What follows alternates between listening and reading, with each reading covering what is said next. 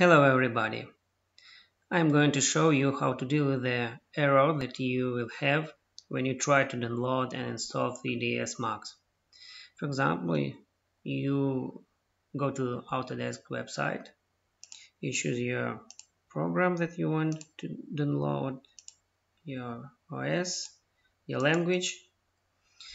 Uh, website gives you this button with the four for options. For example, you try to use first option, install now, accept, install. You will get this file, just download. Then you try to install this file 3ds max and you will have this problem this error error downloaded. Please install now again from the Autodesk website. If you do it again and again and again you'll have the same problem. It's like forever. Okay next you will try another option. For example complete browser download. And website give you gives you this uh, file. 1 by 2 for example, you downloaded it like I, I did it before. And here you are. This file. You try use this file also to install 3d max and you will have this error. Product download consists of multiple files at least one file is missing or has not been downloaded yet.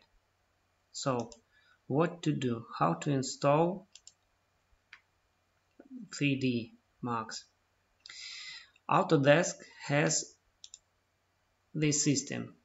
They call it AVA, Autodesk Virtual Agent. It's like a chat, like a bot. Here, you need just to type what you want. Then you will say answer okay I have an existing license. Okay this computer and here you have two links. You can use this link and you will get the same problem. Try use this option. Continue with AVA and AVA this is smart bot will give you the opportunity to download not only first file of archive but also the second one. So this is the first one. You see 1.2 here. And the second one it's 2 by 2 here. So you need two of these files. And you have these files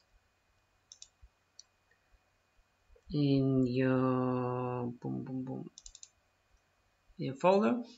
And now using these two files you can install full 3ds max 2020 just press first file and you will get what you want.